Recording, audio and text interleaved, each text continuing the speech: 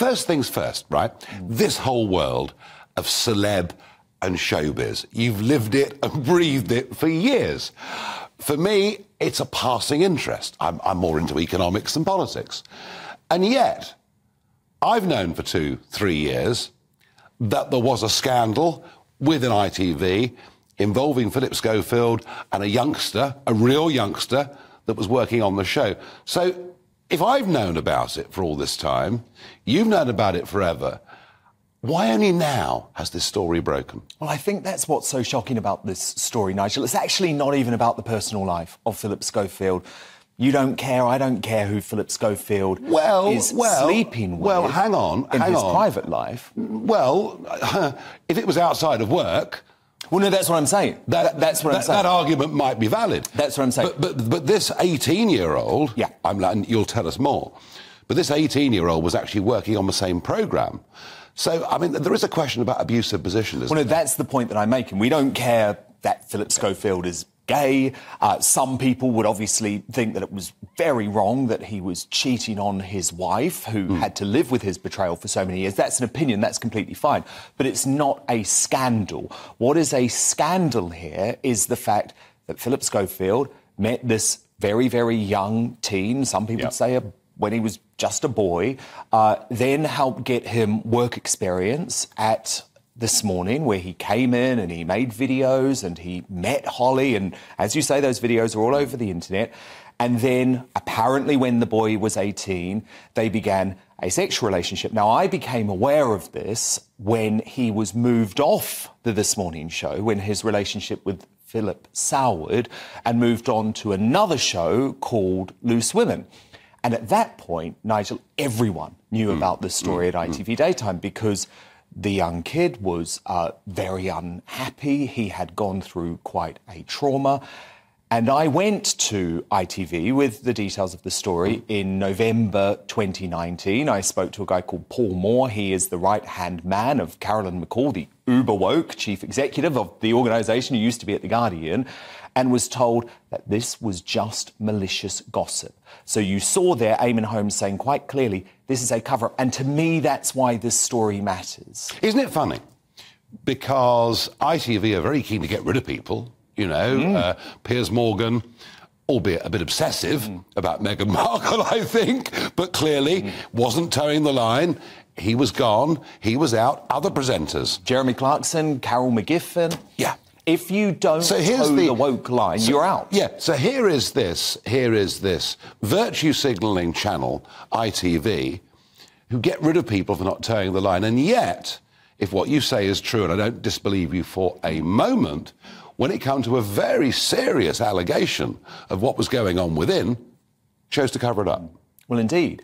And why not just investigate in November hmm. 2019 when this story was put clearly to them?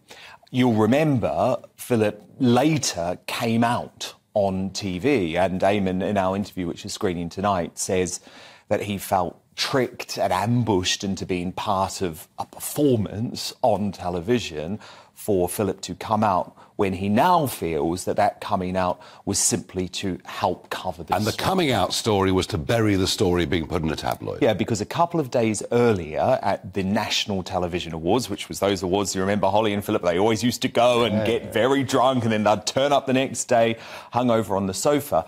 That night at this National Television Awards, this poor young man who was clearly troubled at the time had got very drunk and spoke to Holly and Phillip about what was going on, also spoke to various senior ITV executives and spoke to me that night to talk about his pain, about how he'd been treated. So to me, I, I will stress again, I don't actually care about Phillip Schofield's private life. It's about what this means about ITV as an organisation. Why are they prepared to protect a very high powered star and not look after a clearly troubled young staff member? And there was no doubt about it. I mean, apparently, you know, taxes were taking this young man. Was it from ITV studios to Schofield's apartment? Yeah, so Eamonn reveals tonight, and it's an extraordinary uh, revelation actually, that Phillip would have something called Thursday playtime uh, with this young runner. And then Yes. the next morning, uh, taxis would take the young runner from his house, Phillip's house, to the ITV studio. So it seems quite hard to believe that if ITV had really investigated what was going on, because we should say, Nigel, they claim they did investigate. They say there was an investigation in early 2020. But again, that was two months after I first went to them with the story. And remember, this relationship had been going on for a good couple of years mm. by that point. Mm.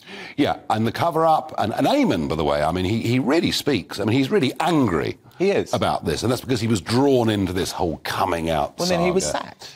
And then he was used, and, and then, then, he was sacked. And he was sacked for saying something that was slightly outside of the accepted mm. wisdom of the time. So I can see the anger in Eamonn Holmes, but there is a. It's interesting, isn't it?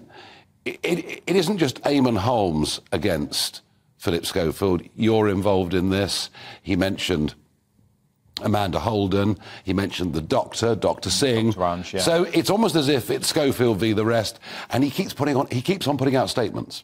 Well, yes, he said today there was absolutely no toxicity at this morning because there's lots of claims about this show being an incredibly toxic place, place to work. I guess what I would say to Phillip is that is it not pretty toxic that you have somehow got management to move your young bit on the side to another show while he has some sort of breakdown simply so that you don't have to work with him every day. That is quite a toxic thing. Eamonn actually has lots of other examples of the toxicity on this morning.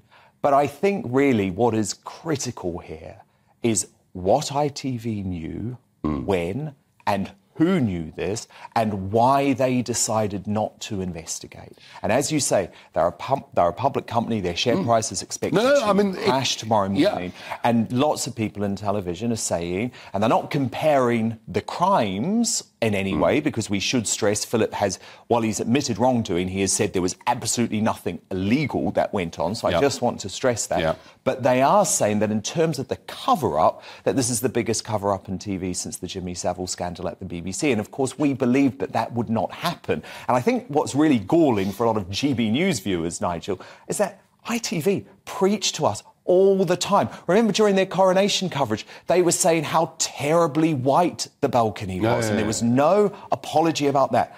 All they seem to care about is BLM and inclusion and diversity and they love to put out this picture of them as a holier than thou paragon of virtue and the home of virtue signalling. Yet this was going on. Yeah. They knew about it. They were told about it by multiple people, and they said, "You know what? This is all just a bit too hard to deal with because mm. we want to keep lovely Holly and Phillip on the side." Yeah, and, and, and is it because I mean, did they fear that losing Phillip Schofield, losing the program, would damage their revenue? Yes. So, as simple as that. That's what I believe, because otherwise, why? I mean, I yeah. said at the time to, to, to Paul Moore, the, the, the group uh, corporate affairs director of the channel, and I just want to be very specific so that people know this is not about rumour or hearsay. You know, I said it at the time. Mm. Why did you not investigate. And I will just make one other point, Nigel, because I think it's really important to say, because Eamonn's been getting a lot of it too over the weekend. Mm. A lot of folk have said, well, if you knew about this, why did you not speak up? And all I would say is, we tried. And while I was executive editor of The Sun in December 2019, I did write a version of this story, which spoke about a young runner on this yeah. morning who had been moved on to Loose Women after a row with Phillip. But I think it is worth pointing out the libel laws in this country really do damage freedom of the press. We have nothing like the First Amendment in the US, and all of the time, journalists in the UK who are trying to reveal wrongdoing are threatened. Yeah, and that, of course, is how Savile actually yes. in the end for years and years yes. and years people tried to expose what because everyone was doing knew.